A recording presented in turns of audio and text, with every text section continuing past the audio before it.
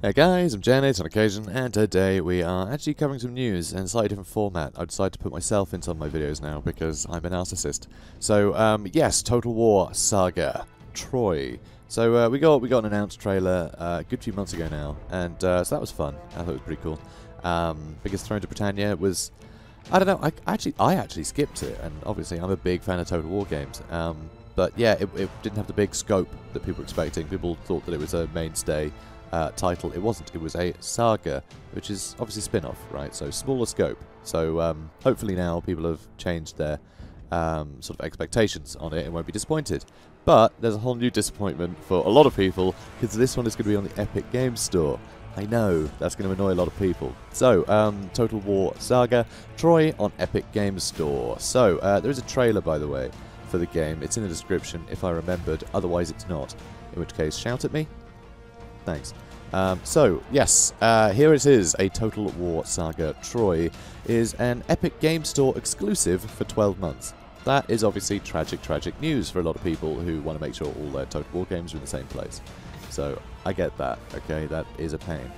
Uh, and it will be available for free if you claim it the first 24 hours. I'm happy to. I'm kind of happy to be, you know, a little disappointed if it means free stuff you know? So that immediately makes me feel better about it. Um, hardcore fans of the franchise that are there on day one will just get it for free. So yes, it's not in the place they want it, but it's free. I mean, you can't really ask for more than that. So uh, that's right, we're giving away Troy for free to keep as long as you claim it the first 24-hour window. Um, I'm sure there'll be some DLC, but actually, did Thrones of Britannia get any DLC? I don't even know. I, that's how little I paid attention to Thrones of Britannia, but oh well. Uh, so we're really excited about Troy, and we're even more excited that this will give more of you the chance to play and enjoy it than might have had otherwise. Uh, while we know that some of you won't like the Epic Games Store, uh, store exclusivity, uh, I'm mixed on it, actually. I'm glad Steam has a competitor, but I find the exclusivity part of it a bit annoying. But I understand that's the only way for them to get into the market in the first place. Because Steam has monopoly, which is why I kind of like the competition, because Steam needs improving in a billion ways, and it's never going to bother unless it has competition. But it's not exactly great for the consumer in the build-up to, you know, competition being formed. So that's annoying. That's my point of contention. I'm sure there's plenty of um, plenty of issues you guys have. I'd rather not, you know, this turn into just a discussion on that, but rather some excitement about Troy because, uh, yeah, new Total War. So, uh, la la la la la, it feels a great opportunity for us in a lot of ways, and we're hoping that you'll take some time to hear us out and for us to answer what uh, some of the questions we think you might have. So, first of all, this is an opportunity for Troy specifically. We have no plans for future games to be Epic exclusives. Now that I'm very happy about. Um, I really want my like mainstay Total War games to be in the same place, you know, and uh, having to wait a year to then buy it on a different platform. Nah, I don't want that. Nah, want them to all be together. So be like, ooh, aren't they shiny? Um, so, you know, there is that. As developers, we truly value our existing fans, but at the same time, we want to reach new audiences and have as many people as possible experiencing the thrill of Total War for themselves. So this makes perfect sense in my mind, because uh, this is a spin-off, right? It's a smaller scale thing, just to be like, okay, here's something for free, everyone who's over on Epic, uh, you know, all you kids playing Fortnite, how about you give this a go? By the way, we got plenty more of it. Um, you know, if you're if you're looking for more, I think that's clever, right? I think that makes sense. It gets more people in the community, and I like that. Um, especially because you know I I cut my teeth at multiplayer with Warhammer, and then I kind of got a bit bored of it. You know, it was the same old nonsense. Um, getting a bunch of new blood in would be great. Um, however that happens, and it's just the same with any any Total War thing. Just more people being into Total War is a good thing for anyone who's into Total War. You know, more stuff gets sold you know, more copies are sold of other Total War games, the more money is going to go into developing them and polishing them and making them as good as possible, and you know, whatever. Um, so it's a good thing. It's a good thing. You know, we want we want there to be more fans. So that I think makes a lot of sense, and to do that with a spin-off rather than Warhammer 3 or something, then yeah, great. Happy for them to do it with that. Um, you know, if they're going to experiment, let it be with a spin-off. So, as a business, that means putting uh, Total War onto new platforms so that it can reach more players. Yeah, see? Um, this is part of that, and in principle, we'd like future Total War titles to be simultaneously available from launch day on as many storefronts as possible. Right now, this is a one-time, one-year exclusive deal for Troy. We've always said that Saga titles allow us to experiment, yeah, and this is an experiment on a grand scale, uh, which is amusing because the campaign isn't a grand campaign because it's a smaller scope to the other games. So it's a fun one. They made it grand, but in a in a business way. Is that exciting for us? I don't know. Anyway, Troy seemed like a good game to try this out with, especially as pre-orders aren't live on Steam yet. So that is great, actually. Frankly, that is superb um, that they've done that, because so many games have just suddenly been like, oh, we're Epic exclusives now, when people have already pre-ordered or kickstarted it or whatever.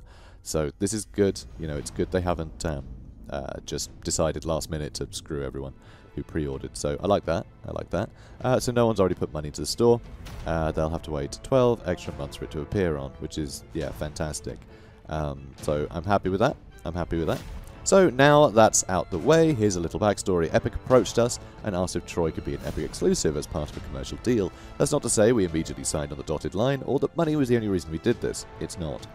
Um, it was a difficult decision, and you can be assured that there are a lot of differing opinions in the studio and a lot of discussions about it, which largely focus on what it would mean for you, the players. However, ultimately we considered two things. Two things. First, uh, we're at a time where we're looking to invest more into the ongoing development of Total War, this felt like an opportunity to really move the franchise forward by getting it in front of more people. That's important. Secondly, Epic were paying for our players to have our latest release free on day one. So that is a very big deal. Um, the fact that Epic are happy to shower people with money um, right now in order to, you know, get that market share, right? Um, that's kind of great because that means that you know, what I said earlier, like, more people are playing it, the more money goes into development of Total War games, right? Well, anyone who's getting that release on day one, you're helping fund other Total War games. And you're getting it for free, because Epic's footing the bill. So, that's brilliant, right? So, be sure to download it, even if you hate... In fact, if you hate Epic, download it. It's in your best interest to download it, because it means Epic will then give money at your, uh, I mean, hopefully still one of your favorite games developers. Ten, you know, it depends how much you hate this news. So, you know, but anyway, um, so yeah, that's that's great. So it means there's more money being invested in Total War, and uh, we're getting a free game. So, you know, cool, silver lining for sure. Uh, for Total War's 20th birthday, that felt like an opportunity too good to pass up. that's nice. Uh, as mentioned, uh, and like others in the industry, a key reason for exploring other digital stores is that we don't want to be limited to just Steam. We also want to diversify our business. In fact, we want to get our games onto as many stores as possible. I mean, that is important, especially nowadays, you know, like things like GOG, Galaxy, and like all sorts of things are sort of cropping up that are some people prefer. Some people just don't like Steam, and I get it. Steam is very irritating. Um, it's it's not it's not this wonderful thing. I know that all of your library is in one place, and that's wonderful.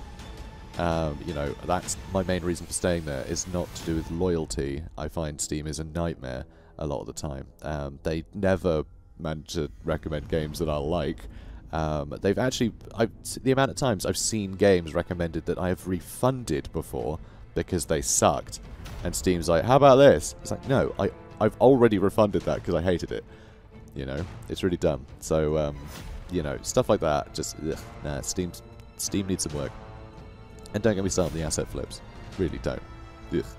Uh, and it's terrible for indie devs nowadays because the, the saturation's too high. So really hardworking devs don't get, you know, even a glance at their games because it's buried under cheap crap.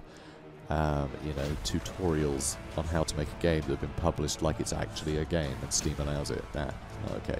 So I, I like the competition. I'm glad there is, but of course that means that in order to be pro-consumer, Total War games have to be everywhere, right? So I like that they're doing this. Because to be truly consumer friendly, it's got to be everywhere. And if that means, you know, being exclusive on one of the platforms for a year for a spin off, yeah, I'm thinking this is okay, personally. Um, I know it's still a bit, bit of a sour taste, but generally, um, I'm, I'm happy with that. So, as mentioned, and like others in the industry, a key reason for exploring other digital stores is we don't be limited to just Steam. We also want to diversify our business. In fact, we want to let our games onto as many stores as possible. Long term, we want to expand where players find Total War. This deal gives us a great way to try out other platforms, such as Epic, to see what works for us and what doesn't. It allows us to get a feel for the development required to expand to other platforms, and it's relatively risk-free for you too, as the game's available for free when claimed in the first 24 hours. So, this opportunity allows expansive back-end infrastructure development that will allow us to expand into multiple stores. That means we can have more resources, push ourselves further, be more creative, make more Total War. Brilliant. We're always looking to evolve and improve on our games, and this deal gives us a lot of ways to do that. As we said, fresh perspectives, money that we'll be putting back into the studio, new ways to expand. So, it all sounds pretty promising, um, even if it's a little annoying. Uh, you might not immediately see a big change, but we're confident you will over time, and we guarantee there are a lot of things behind the scenes being made possible due to this, which we wouldn't otherwise have the chance to do.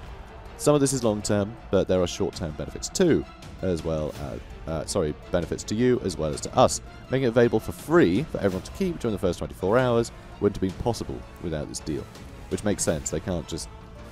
If they put it on Steam, that's where all the fans already are, and everyone would download it for free on day one. And that would be like, you know, 90% of the money that they would normally make from the game in the bin.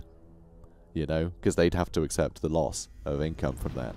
So, you know, so that's pretty great. That's pretty great. Um, that's pretty wonderful, actually. That there's that sort of loophole. And it also means more people can try out sort of Saga games when I think there's still a fear that because Thrones Britannia was... I think it's safe to say it was a flop. I, I don't know anyone who's mentioned it in forever. Um, you know, it was, a very niche title. I think that put a lot of people off, especially because it was using the Attila engine, which uh, doesn't run particularly well. Uh, whereas Troy is on the Warhammer engine, which is smooth as butter. So, you know, I keep right-clicking by accident. Um, so yeah, I, I, uh, I, yeah, I think this is a good thing generally.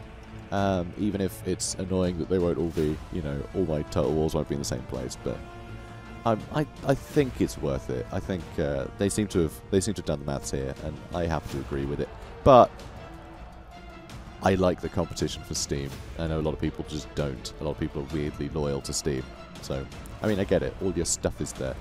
Um, you know, why why have it so you have to play a, a game in a different house?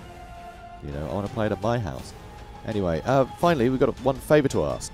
However you feel about this, please keep any criticism for the studio as a whole and don't take it out on individual employees that you might find on various social media platforms. Yeah, guys, this is actually super important. Don't don't be a dick. Just that simple, okay? This is not there's no one person making this decision. So don't be a jerk. Seriously. Okay, these are people and given the times we're currently in, no one deserves that hassle, so don't be a jerk, alright? Just shout the studio, you know, or just vent in my comment section, frankly, but come on because um, I know my community is pretty good, but there's always going to be some people out there that are dickheads. So uh, we get it, it's unexpected, but they're not going to be able to change anything, and probably weren't the ones who made the decision regardless. Because, yeah, the people you're going to see the most of are like the community managers, right? If you think the community managers have anything to do with business decisions, you're insane, so leave them alone. Uh, please, you know, they're... If you engage them in like a, a, an actual discussion about it, they can talk to you about it. But if you accuse them of anything, like they didn't do anything, like you're not helping anybody, you're just ruining someone's day. So don't do that. Uh, we really think you'll love Troy. And hey, it's free, so definitely give it a shot. Redeem your 24-hour freebie and enjoy the game. If not, it'll just be a year until it's available on Steam. Ultimately, we think this is good for our players, good for Creative Assembly, and therefore good for Total War. Thank you for reading. So, you know, that's a, yeah, yeah, a bit of a curveball. A uh, bit of a curveball. So, um, because you know I'm, I'm part of the partner program uh, with Total War, and they didn't even tell any of the partners. Uh, they didn't give us a heads up about it. This is how much of a curveball this is. So uh, pretty surprising. It's pretty surprising. Um, yeah, absolutely bizarre. But uh, hey, new new Total War game. So and Troy, and the trailer looks cool. I recommend you watch it if you haven't already. If it's in the description, which it hopefully is, unless I didn't put it there in which case shout at me. I think we covered all the bases. Uh, so yeah, uh, I will be covering this on the channel, obviously. Um, I don't know to what extent, because I don't know, uh, with the scope being different to normal Total Wars, uh, how many campaigns we'll get out of it. Um, I don't know. I have no idea. I'll, I need to, you know, get in there and um, and start seeing what's what. So, uh, yeah, I guess that's that. So guys, thanks for tuning in. and uh, I'll see you in the next one. Have a good day, guys.